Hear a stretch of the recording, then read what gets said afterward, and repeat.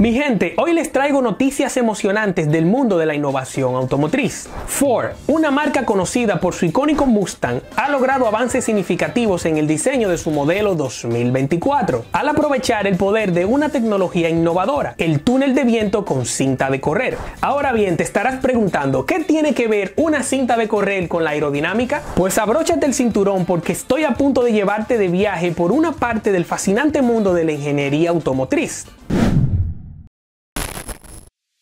Verás, el equipo de ingenieros y diseñadores de Ford pasó incontables horas dentro de la última generación de túneles de viento, ampliando los límites de la eficiencia aerodinámica. Pero no se detuvieron en simular el movimiento del aire sobre el auto, fueron un paso más allá. Con la ayuda de su túnel de viento de carretera rodante de última generación, pudieron recrear la sensación de la carretera moviéndose debajo del Mustang 2024. Esta notable tecnología puede simular velocidades de hasta 200 millas por hora y generar suficiente flujo de aire para llenar un dirigible K-Class en solo 5 segundos. Impresionante, ¿no? Pero no se trata solo de impresionarnos con proezas teóricas. El verdadero objetivo aquí es llevar la realidad de la carretera al laboratorio, lo que permite a los ingenieros y diseñadores realizar pruebas internas más precisas y extensas. Al probar el Mustang mientras las ruedas y los neumáticos están en movimiento, pueden ajustar la aerodinámica para el rendimiento tanto en la carretera como en la pista.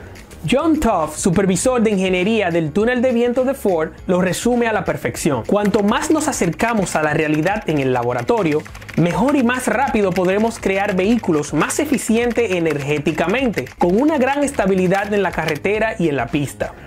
Entonces, ¿cómo funciona este túnel de viento de cinta de correr? Bueno, cada rueda del Mustang tiene su propio cinturón, replicando el arrastre del mundo real que se experimenta en la carretera. Y si se necesitan velocidades más altas, el automóvil se puede colocar en una cinta de correr más grande de una sola correa. Esta configuración permite obtener datos más precisos sobre la resistencia aerodinámica y la carga aerodinámica lo cual es crucial para los vehículos listos para la pista como el Mustang Dark Horse, que necesitan equilibrar tanto la resistencia aerodinámica como la carga aerodinámica.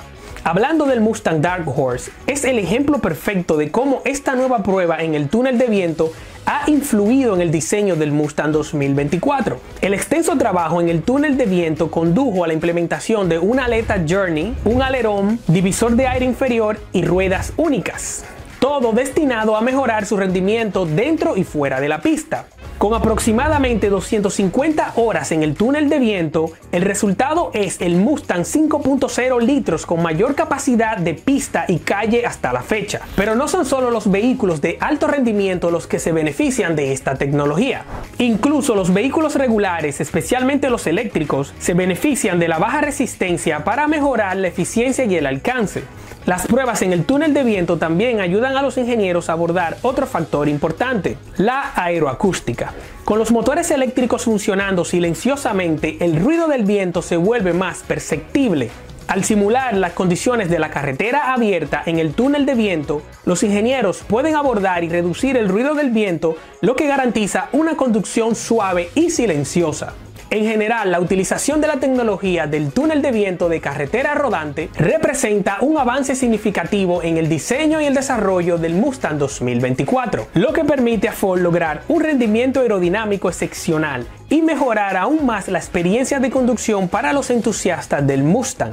Si te gustó el video, regálanos un like para que YouTube pueda mostrar este video a más personas. Y si eres nuevo por aquí, suscríbete porque vienen videos más interesantes. Hasta la próxima.